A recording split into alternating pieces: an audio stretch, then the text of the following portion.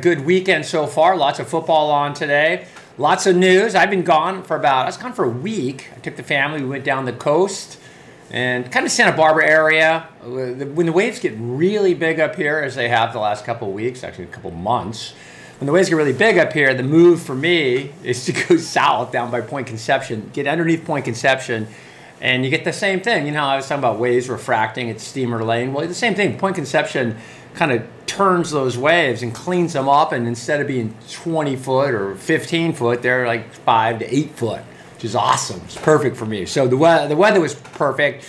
Um, and it, the other thing, you know, you get when you go south of Point Conception, and it was visibly noticeable in Santa Barbara, south, was how dry the fuels are. It, they haven't had rain, and they're two to three percent, one percent of rainfall average. A lot of these communities, from Point Conception down into Ventura, down into Malibu, into San Diego. And we've talked about it. We talked about this last week before the fires, uh, the idea that we're going to go dry until around now, now around the 21st of January. So no rain in the forecast for all. We're going to look at the computer models.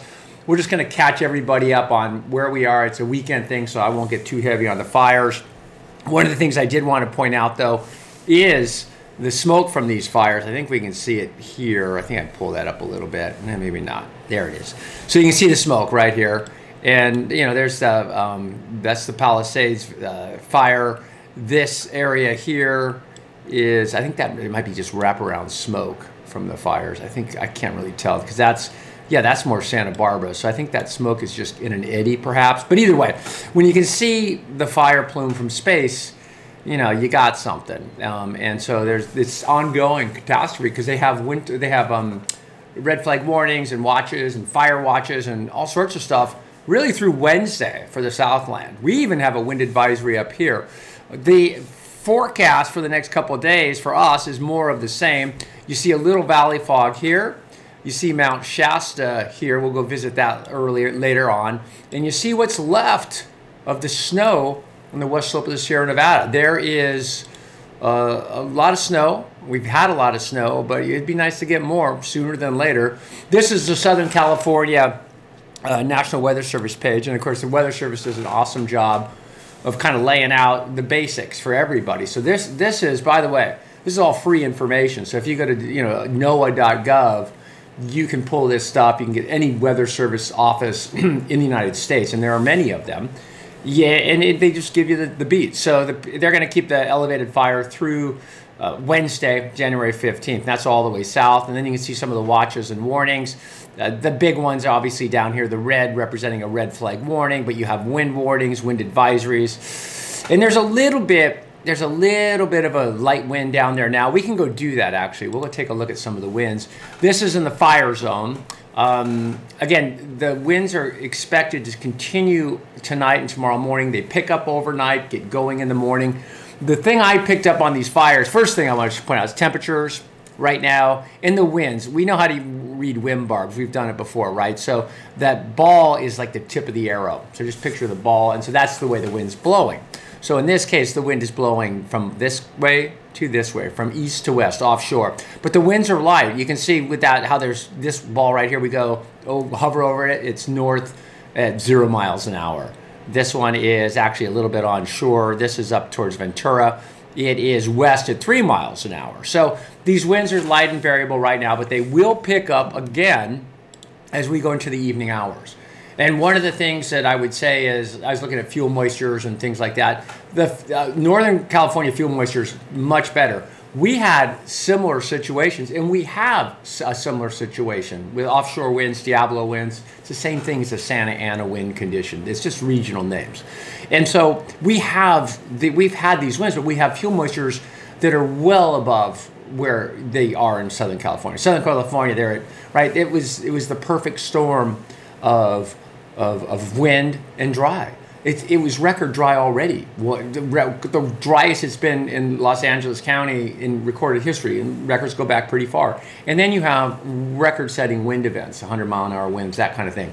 And one last thing, I, I have a lot of friends who are firefighters. Over the years, being in this business, I, I, talk to firefighters all the time. You guys are guys and gals are awesome because you're in the front lines. And one of the things I learned early on, buddy of mine, uh, Tim Ecke, uh, lives in uh, Marin County. He's retired fire captain. But he told me years ago, 30 years ago, he goes, Bill, here's what you need to know about wildfires when there's a wind over 50 miles an hour, probably over 40, but over 50. He goes, we're not fighting the fire. We're getting out of the way. We're getting people out of the way. So that so this whole kind of like we're, they're fighting the fire. They weren't fighting the fire. They're maybe they're fighting it today and they're trying to fight it. But when the winds blow that hard, it, it's absolutely impossible. You just get out of the way, and that's kind of what is happening. And that's what's the potential for more strong winds tonight and then through Wednesday. So problems down there. We'll keep an eye on that, and that's all because this could have happened with us if we didn't have rain we get a fire spark. We probably had fire sparks. You just didn't hear about them because the fuels didn't spark. Okay, enough of that. Here is the mountain, prettiest mountain in the world. this is kind of cool. This is this morning, and it's interesting that kind of the moon setting and the sun coming up. Isn't that beautiful? Mount Shasta, everybody, and you got a little bit of you see you'll see a cap cloud develop on the cinder cone right there in the front, and then you see that cap cloud, almost a wave cloud forming, trying to form right over the peak. And that's the air being lifted up, condensing. And then we talk about ways refracting and bending. Well, air does that too. So the air goes up, the west slope of the Sierra Nevada or the west slope of the Mount Shasta, cools and condenses. Boom, there's your cloud. And then because it hit the mountaintop, it bends and shoots down. Well, when it goes down, it dries. So the cloud formation, so you can kind of almost see right what we got. So if I go like, I think I can do this. Yeah. So if I go, the wind goes up, cloud forms, wind goes down, moisture dissipates, dries out, and there's no cloud. And if you were to look, you would see downwind, you'd see this, and there'd be another bounce here. You're not, it's not that kind of day, but you get these bounces of these waves up and down, up and down. So when you see this, them stacked up like that, you know you got, usually it's a windy day. And we, it is going to be a windy day, wind advisory through tonight and early Sunday morning, uh, or last night and early Sunday morning for these areas in the Bay Area. Makes sense. Winds will gust to 20 to 30, maybe 40 to 50 miles an hour. And again, fuel moisture's reasonable for us, fortunately. Uh, the There's the wind advisory. This green area represents sort of a coastal flood deal, and that's we got some big tides. This morning's tide, it's high in the morning, so 9, 10-ish, and it's up around 7 feet. And as it drops out, it goes all the way down to a minus one. So that's about eight feet of water coming and going from the Golden Gate Bridge. And that adds, you know, through that little gap. And so that adds significantly to the dangers along the coast. We talk about that all the time, but the, the surf, we'll get to that, but the surf's kind of mellow right now. It's big, but it's not ridiculously big like it was uh, a couple weeks ago. Okay, so I'm gonna put a circle around us. Where are we? There we are, right there put a circle around us, and this is uh, halfway through the atmosphere.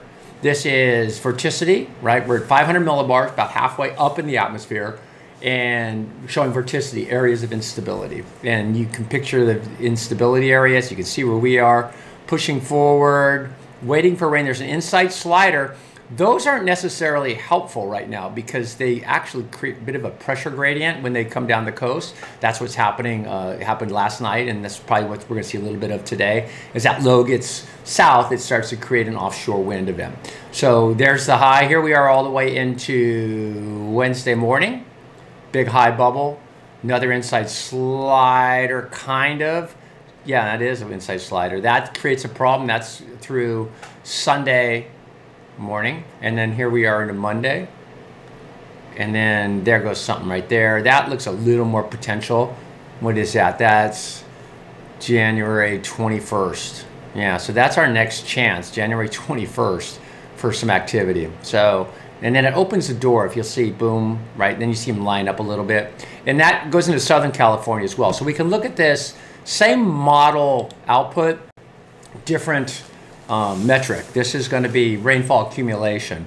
So what through that same period. So you'll see you kind of get you get the picture right, and then you're pushing forward. Nothing, nothing, nothing. Dry through the 18th, dry through the 19th, and then it starts to push in. So this is on the 24th of January. And you see it come in, and what are we talking about? You know, light rain, half inch on the coast. Yellows would represent obviously more rain up to over an inch and this is on the 25th. That's all. That looks good for Tahoe and us, but what's going on in Southern California? This is right. That is not good, and it, it repeats this trend that we're seeing, where you're 200% of rainfall average in Marin County, and you're. I'm just these numbers are just rough, but 200% of average in Marin, 2% of average in LA, and becoming less as these systems miss that area or potentially miss that area. So, not to get too morose right now because we don't know exactly um, what if those models are going to pan out. So we'll keep an eye on that. This is interesting. That other camera kind of went off on us. That was Sutro Tower. This is um, Mammoth Mountain, and I think these might be the, these must be the White Mountains out here, huh? Yeah. Have you ever gone up to Bristlecone Pines? Oldest living. I think it's still considered the oldest living thing on Earth. The bristlecone pine up in the White Mountains and there's a bristlecone pine forest, and there's a park, and there's a hike, and there's you can actually see these these trees, which you probably know about. But they, and they, they you, you go, why do they last so long? Well, how do they live to be so old with fires and stuff? Well, they're up so high that the oxygen is thin, the fires don't really take hold, the trees are really resilient. There's a whole bunch of really interesting things. Bristlecone pines, and there's something about being next to the oldest thing, at least from what we that we know. Uh, and then so you're looking at this is Mammoth Mountain. They got snow for sure. That's out in the basin. That is um, the Owens River. I was out there the other day, a couple, about a month ago, fishing. It was pretty fun. It's such a pretty spot. This is uh, the Ocean Beach area. Oops, I didn't want to do that, but I could do that. There we go. And the surf is about five to eight, maybe eight, maybe a little bigger. Tide's high, like I said, it's dropping out fast. So that is going to be a little bit uh, squirrely because it's just all that tide water coming out the gate you're trying to surf and stay in the lineup, you're going to get flushed down to Pacifica, basically. This is uh, Santa Cruz. They got some good swell down there. This is the tide's getting better. Swell's dropping. It's still pretty deep, um, but you can see the waves are coming in. And just a really beautiful, beautiful day all around uh, Northern California. Southern California, they're struggling and uh, you know our thoughts are definitely with them and it, and, and it just opens up the, the the conversation even more about okay you know how we how we protect our homes, how we how we utilize water, all these just all it's a whole gambit of things that are opening up. Mount Shasta, prettiest mountain in the world. I I think Fuji might be right there too, but anyway. Okay, so there you go. That's a quick one. Back from vacation. I will be more on it this week because last week I was started to do stuff and then I'm like, you guys want me to do stuff. You'd be like, go surf, dude, right? That's kind of what I was thinking too. Okay, we'll talk to you. Uh, I I'm sure we'll talk to you tomorrow. Be back here.